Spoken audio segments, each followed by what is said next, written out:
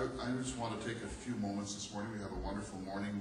What, what I really want to do is to make sure we get plenty of time to get our four visiting scholars from elsewhere to come up and sit here and take your questions and get into a kind of informal discussion about history because, um, you know, it's great to have people from distinguished institutions come out and lecture. And we're so privileged to, to have that joy here in, in, at the Roosevelt Center. But you get to see them talking amongst themselves in a casual way and disagreeing, but respectfully, and really showing us that history is not a settled narrative, but it's an ongoing dialogue. It's a negotiation about the past. That's really important, is, is, is not to think that there is some sort of a, a, a, a final narrative line on anything.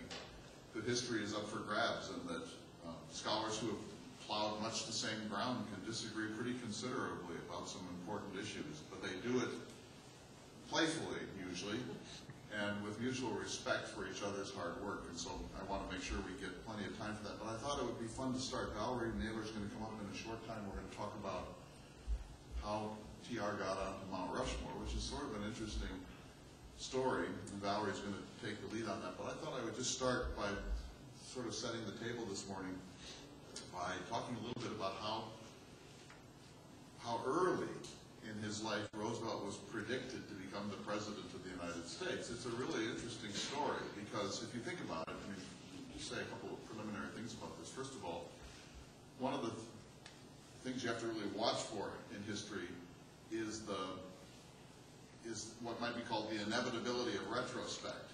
Know, we know how the story came out, but they didn't know how the story was going to come out. And so, to give you two quick examples, when we think of World War II, we think of the Battle of the Bulge, and in the history of World War II, we say, well, it was Hitler's last attempt to break out, and it was doomed to fail, and here are the reasons why. But of course, at the time, that wasn't so certain. And everything that I've read suggests that if Hitler had had a little bit more gasoline, that battle would have at least lasted a great deal longer with more loss of life. Or we think of Hiroshima and Nagasaki with the inevitability of retrospect, but when the first test of the atomic weapon uh, occurred on uh, July 16, 1945, J. Robert Oppenheimer predicted that it would fail. Um, if it had failed, the whole history of the end of World War II would have been qu quite different. Or just a third, we, we, with the inevitability of retrospect, we assume that Thomas Jefferson was the inevitable author of the Declaration of Independence, but it almost didn't happen.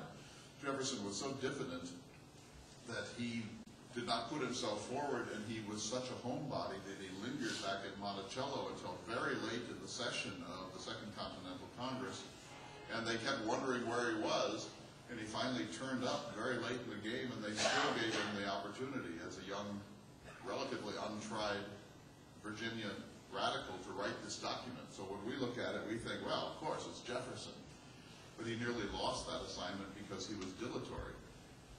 And so it's really important to remember how contingent history is and how things only gelled when they gelled. So let me just quickly look at, um, at when Roosevelt was first predicted to be president.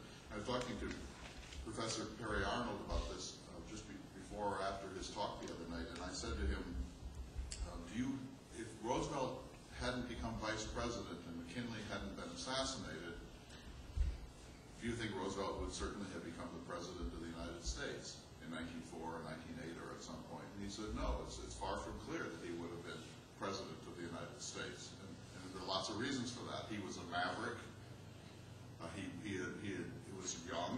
He had not um, paid his dues with the old stalwart Republican Guard. He wasn't a, seen as a completely reliable party man. Uh, there was this streak of impulsiveness uh, in his youthful character. And so it may be that if, there, if McKinley had not been assassinated, Roosevelt might not have become the president of the United States. It's, it's far from inevitable. And yet, from a very early time in his life, it was predicted that he was presidential material or that he might become president. And interesting, I was talking to Amy about this. Some people had sort of reckoned on this earlier, but really the first time that it was that it was boldly stated that Roosevelt was going to be president or could quite likely be president was here during his time in western North Dakota. And I'll, I'll give you the anecdote in just a moment. But I want to just go through a couple of earlier ones very quickly. In 1881, he was elected as the, he was born in 1858. So in 1881, he was elected as the youngest member ever up till then of the New York State Assembly. He served three terms. And Puck, the, the magazine Puck, the illustrated magazine, and by the way, we now have a set of it digitized at the Roosevelt Center um, in, in Dickinson, thanks to the Library of Congress. Puck said this of him um, in a kind of Puck, Puck editorial. Be happy, Mr. Roosevelt. Be happy while you may. You are young. Yours is the time of roses, time of illusions. Bright visions float before your eyes of what the party can and may do for you. We wish you a gradual and gentle awakening. You are not the timber of which presidents are made. That's 1881. He's just 23 years old. Um, and he's, he said later, I rose like a rocket. Uh, but he's already in his first term as a New York State Assemblyman, as a 23-year-old, already being debated a little bit about whether he's presidential material. And Puck tells him in no uncertain terms, you're not.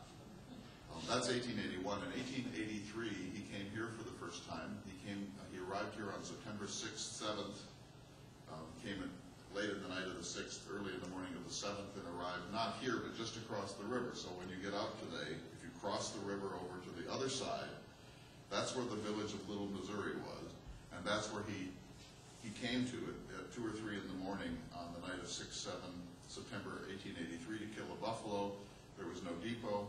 There was no crew. They just stopped the train. He got off with a duffel bag and a rifle, and he dragged it across uh, the prairie to something called the Pyramid Park Hotel. He banged on the door. It took a long time for the intoxicated proprietor to open the door.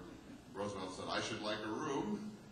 And the proprietor said, there are no rooms, but there is a, what he called the corral up on the second floor where there are 14 cots. One of them may be empty if you want it. It's two beds.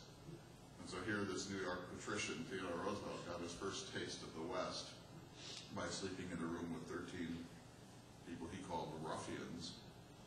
Um, he went down to uh, a ranch uh, south of here to headquarter for his buffalo hunt. It's, it was the Gregor Lang Ranch. It's about 40 miles south of Medora. If you've been down to that part of the world, it's just north of Marmarth. It's on the mouth of the Little Cannonball Creek. It's a very remote place. It's actually a ranch that's um, owned and operated by uh, John and Nikki Brown. And the footings of the of the Gregor Lang cabin um, can be found, or at least one of them there. And he headquartered there for a couple of weeks, and during that time, he would go out by day. It was, it was weather much like this, only rainier rather than snowy, but it was, the, prairie was covered with muck and gumbo, and it was, his uh, guide, Joe Ferris, said, there's no way you're gonna get a buffalo, you should just quit. But Roosevelt wouldn't quit, and they went out day after day, but at night they would come back, and Roosevelt, uh, Joe Ferris would go to sleep, he was exhausted. Roosevelt would stay up talking to Gregor Lang about politics, about ranching, about the West, about the prospects of this country. And after about six days of this, Roosevelt said, you know, Mr. Lang, I should like to invest in the cattle business. What would you recommend? And Lang suggested that he could talk to a couple of other ranchers, Sylvain Ferris and W.A. Merrifield, and that they might help him. And that's exactly what happened. That's how Roosevelt, on that first trip to the Badlands in 1883, decided impulsively to invest in a ranch, the Maltese Cross. And before he left, he wrote a check for $14,000, a very sizable amount of money to invest in the first of what would be two ranches. But as he left after this two-week stay with the Langs in this hunting period, Gregor Lang, who was an immigrant from Scotland, who was here managing a ranch for a wealthy Englishman, Gregor Lang, when Roosevelt left, turned to his son Lincoln and says, there goes the most remarkable man I ever met. And he went on to say he predicted that we would hear great things about this Theodore Roosevelt. In 1886, a couple of years later, Roosevelt arrested the boat thieves up near Cherry Creek, near the north unit of Theodore Roosevelt National Park. Thieves had stolen his boat instead of just letting them go, he decided to chase them down and arrest them. He built a boat in order to follow them through a blizzard. He finally caught up with them. He made a citizen's arrest. He had three desperados now on his hands, and he couldn't get them to Bismarck and Mandan to turn them into the law. So in desperation, he finally decided to march them overland from Killdeer, North Dakota, from the Diamond C Ranch at Killdeer, about 40 miles over that gumbo Badlands country to Dickinson, to the sheriff, and he did it. It was one of the great adventures and ordeals of his life. He went sleepless for three or four days. Uh, he, he couldn't tie up the, he was all alone now. He had sent his ranch hands back to the ranch. He was all alone with these three desperados, one of whom was known as Red-Headed Mike Finnegan. And at night he couldn't tie them up because he was afraid they'd get frostbite. And so his humanitarian instincts were at war with his law and order instincts. And so since he couldn't tie them up, he made them take their boots off so that they couldn't run away. But he had to stay awake. And he kept himself awake um, in typical Rooseveltian fashion by reading a book. He happened to have with him a copy of Anna Karenina by Tolstoy, um, one of the longest books ever written. And he had just been translated into English, and he read it out loud to the boat thieves for days, stopping, he said, from time to time to engage in the literary criticism, because he wasn't really a fan of this Tolstoy, because Tolstoy, after all, wrote about adultery. And he finished the book. He actually read War and Peace, or Anna Karenina, cover to cover to the boat thieves, and then he ran out of book. And then even more improbably, he turned to red-headed Mike Finnegan and said, I say, old chap, you don't have a book, do you? And Finnegan had one. It was a dime novel about Jesse James, and so Roosevelt said, let me borrow it, I'll return it after you're released from the penitentiary. And then he read that out loud to the thieves. And so whether all this is strictly speaking true, we don't know, but this is the account he wrote of it, and Finnegan later became a kind of friend of Roosevelt's, and we happen to have the document Roosevelt Center of the letter that Finnegan eventually wrote from the penitentiary to Roosevelt, saying that if he had known that it had been Roosevelt's boat, he wouldn't have stolen it. Thank you very much.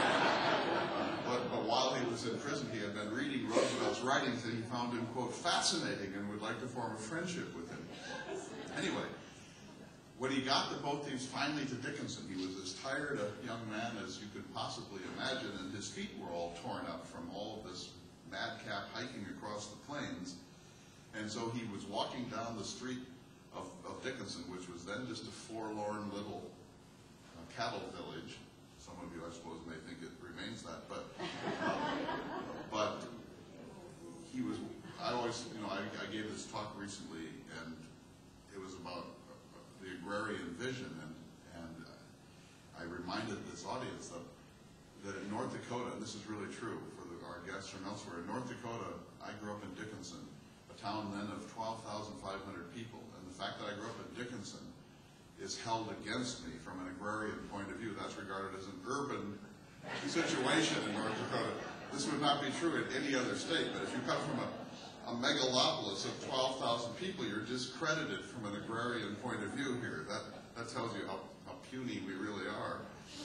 Anyway, he gets, he, his feet are all torn up, and so he's walking down the street, and he, he comes to the first person, the gentleman he sees, and says, "Oh, can you point me to a doctor? And the person that he has chosen turns out to be the doctor, Dr. Victor Hugo Stickney. Um, and Stickney says, I'll take care of you. So Roosevelt goes off to his to his uh, doctor's shop, gets his feet uh, bandaged and, and repaired a little bit, and then he goes off to a, a meeting that night of Missouri Cattlemen's Association here. But when he, this is this was um, Dr. Victor Hugo Stickney's account of Roosevelt. He says, he was all teeth and eyes, but even so, he seemed a man unusually wide awake. You could see he was thrilled by the adventures he had been through. He did not seem to think he had done anything particularly commendable, but he was, in his own phrase, pleased as punch the idea of having participated in a real adventure. He was just like a boy. And then he goes on to say to his, his correspondent, we are going to hear amazing things about this man in the future. So those aren't precisely predictions of the presidency, but they're predictions of something stellar. Uh, Peri Arnold said the other night, you know, it, it would have been possible that Roosevelt would have just been an imperial land baron, like so many others out here. Or at one point after the death of his wife, Alice, he thought he might live here permanently and leave New York behind.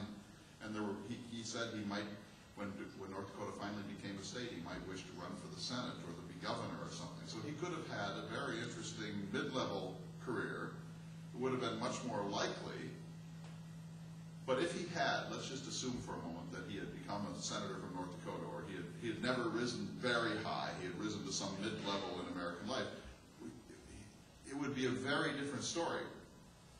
Not just because he wasn't president, but that, that sort of interesting and peculiar character set, impulsiveness, the, the heroic element, the romantic element, the, the, the quest for adventure, the physical um, capacity of, of Roosevelt.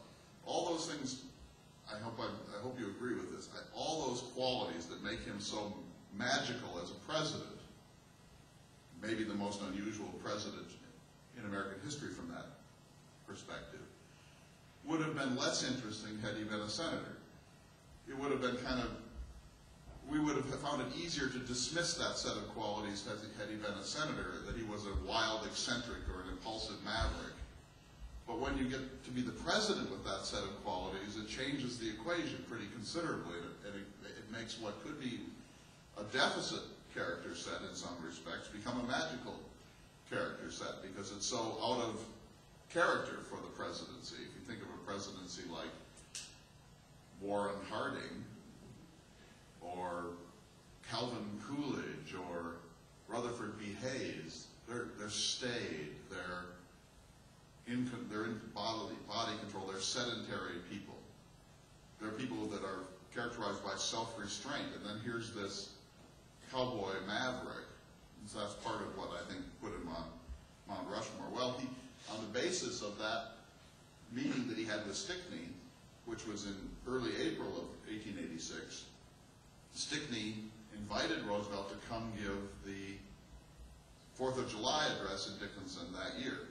So just a few months later, the first ever Fourth of July celebration in Dickinson. And I told you a little bit yesterday about what our plans are in sort of commemoration of that. We found the place where this occurred. So Roosevelt does come, and here's the story. He's in Medora. He's coming out on the 4th of July. It's 30, as you now know, it's 35 miles from Dickinson. He comes in that morning on the train, but there's no passenger train. So he comes in on the freight train in the morning with a couple of pals, but also including a frontier journalist from here, Arthur Packard, A.T. Packard, who had created the, the wonderful newspaper here, the Badlands Cowboy. And so Packard is about the same age as Roosevelt. He's a graduate of the University of Michigan. He and Roosevelt are friends. They're, they're both intellectuals, so they become close friends out here. And Packard travels with Roosevelt on a freight train from Medora to Dickinson for the 4th of July celebration. And there's a long and interesting account of that celebration. There were parades and there were um, bands and there were several speeches. Roosevelt gave the second of two patriotic speeches the presiding officer of that Fourth of July celebration in Dickinson was a man named Western Star. That was his actual name. And he was the sheriff. Sheriff Western Star. Uh, it's almost too good to be true. And maybe is. But he was the presiding officer. So then Roosevelt gives that speech in which he says, like all Americans, I like big things, big prairies, and so on. That kind of over the top this country is magnificent speech. But here's the upshot of it. As they are going back to Medora, this time he and A.T. Packard are on a passenger train, freight train to Dickinson, passenger train later that day back to Medora. All the way, Roosevelt is all hepped up from his speech, and so he's talking to A.T. Packard about government, about civil service reform and about America's place in the world and the need for a larger Navy and uh, we, we, we, can't have corruption and there are many problems that this country must solve and you just have this picture of him just jabbering the whole way from Dickinson to Medora and finally Packard says to him, um, he says, if you continue along these lines, you will become the President of the United States. This is July 4th, 1886. Roosevelt is still in his 20s. Packard says, if you continue along these lines, you'll become the President of the United States. And then Packard wrote about this later. He said, he gave me the impression of having thoroughly considered that matter previously and to have arrived at the same conclusion. so this is 1886. And Packard, I think Packard thinks he's going to do this heroic thing, and Roosevelt has already long since assimilated that. And then, but Roosevelt replies to him, if your prophecy comes true, I will do my part to make a good one. All right. So there we go. So the, the, the, the first certain prediction that we have of Roosevelt becoming the President of the United States was July 4, 1886 in western North Dakota by a frontier journalist, and the prediction turned out to be true. Here are just a couple of others. There's one little scene I want to show you from 1895 when he's the U.S. Civil Service Commissioner. But in 1901, William Allen White of the Emporia, Kansas Gazette wrote, and now he's just been made vice president. He says, There is no man in America today whose personality is rooted deeper in the hearts of the people than Theodore Roosevelt. He is more than a presidential possibility in 1940, or 1904. He is a presidential probability.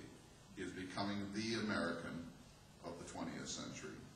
When he was um, just back from Cuba, after uh, his heroics there, and boss Platt, Thomas Platt, was, was considering whether to promote Roosevelt for the governorship of New York, Platt, who was a very, very, very shrewd politician, said of Roosevelt, if he becomes the governor of New York, sooner or later, with his personality, he will have to be the president of the United States. I am afraid to start this thing going. and he did start this thing going, and Roosevelt did move quickly thereafter into the into the presidency. When he was a New York State Police Commissioner, his closest friend, Henry Cabot Lodge, Lodge really was his patron. He managed Roosevelt's political career. He, he, was his, he was his deepest promoter until at least 1912 when they broke over the Bull Moose campaign. But Lodge said to him when he became New York Police City Commissioner, in, in a much more New England restrained way, he said to Roosevelt, quote, the day is not far distant when you will come into a large kingdom.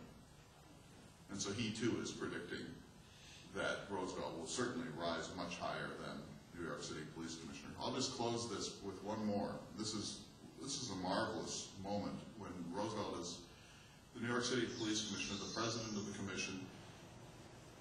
He's he's doing with that job what he does with every other one. He's making it a heroic job rather than a mild bureaucratic or administrative one. And two of America's greatest um, journalists, reformist journalists, Lincoln Steffens and Jacob Riis, Jacob Riis is actually Danish, um, are sort of are in, on, on the beat, on the assignment in New York, and they are young proteges or disciples or admirers of Theodore Roosevelt, and they come to see him every day to hang out and be with this this this man of destiny. And Jacob Riis actually becomes a very important figure in Roosevelt's life because he introduces Roosevelt to the, the world of the slums and the tenements. And if you remember, Riis wrote that extraordinarily important book um, about the cities, how the other half lives, using the, a pioneering new technology, the flashbulb, to be able to take pictures inside these dank and gloomy tenements. And that book changed Roosevelt's life. In fact, he got a copy of the book that Riis sent to him, and he immediately the next day went to Riis's office and left a card saying, I'm Theodore Roosevelt and I'm here to help. And they became good friends. And Lincoln Steffens was another muckraker, a term coined by Roosevelt, and they used to come as young men to be with this other young man, Roosevelt, at the police commission headquarters. And here's, here's the scene, if you, if you know the story of Roosevelt, this is 1895, you've read this before. They decided one day, having read something um, in the commercial advertiser that Roosevelt might be regarded as a possible next president after Cleveland, they decided to come in and tease Roosevelt. And so Lincoln Steffens and Jacob Riis come into his office and say, so, Commissioner Roosevelt, is it true that you have the ambition to become the President of the United States? And here's the account that uh, Steffens wrote about it. Roosevelt jumped up from behind his desk, fists clenched, teeth bared, and he seemed about to throttle Riis and me. Don't you dare ask me that, TR yelled at Riis. Don't you put such ideas into my head. No friend of mine would ever say a thing like that, you, you. He calms down a little. He came back up to Riis, he put his arm over his shoulder, and then he beckoned Steffens closer and said, Never, never, you must never, either of you, remind a man at work on a political job that he may be president. It almost always kills him politically. He loses his nerve. He can't do his work. He gives up the very traits that are making him a possibility. I, for instance, I am going to do great things here, hard things that require all the courage, ability, and work that I am capable of. But if I get to thinking of what might it lead to, he stopped. He held us off and looked into our faces with his face screwed up into a knot. As with lowered voice, he said slowly, I must be wanting to be president. Every young man does, of course, but I won't let myself think of it. I must not, because if I do, I will begin to work for it. I'll be careful, calculating, cautious in word and act, and so I'll beat myself. See? Again, he looked at us as if we were enemies. Then he threw us away from him and went back to his work. Go on away now, he said, and don't you ever mention that don't you ever mention that subject to me again. So isn't this interesting that here's this man, and, and I want, when Peri comes back up, I want him to talk about this. It, it's not inevitable that he would have become the president of the United States. But he did become the president of the United States, and more than any other figure I know from our history, there were people predicting it from a relatively early age when he was in his 20s. And as we said before, he became the youngest president in American history at, at 42 years and 322 days. If you think about figures like this, how many people in the history of the presidency have been predicted to be president? Well, George Washington, but that doesn't really count because the country was very young then. But do you think Dwight Eisenhower was predicted to be president from his 20s? No. Uh, Jimmy Carter? Certainly not. Uh, George W. Bush? No. You know, no. James Madison? No. Warren Harding? No. You could make a list of almost every president that there was no prediction that this was going to happen. Their life reached a, some sort of a crossroads or some sort of a, a, a heightened moment, and then things changed. Dwight Eisenhower was a war hero. People come into the presidency for lots of reasons. The closest you could come in, in my lifetime, I suppose, would be John F. Kennedy. But as you know, his father predicted his other sons. He, he, Joseph Kennedy was to be the president of the United States. This is a very unusual thing. The, the presidency is largely a political accident.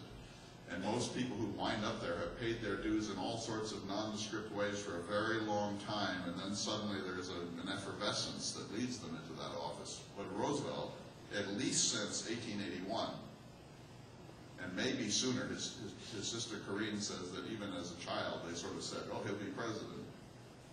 This is, of all the presidents in our history, I think this is the person who was predicted to be president from the earliest age, and yet he came in through the back door, and our eminent political scientist says he might not have been able to come through the front entrance. So we'll let that be the start of the conversation we have here in a minute.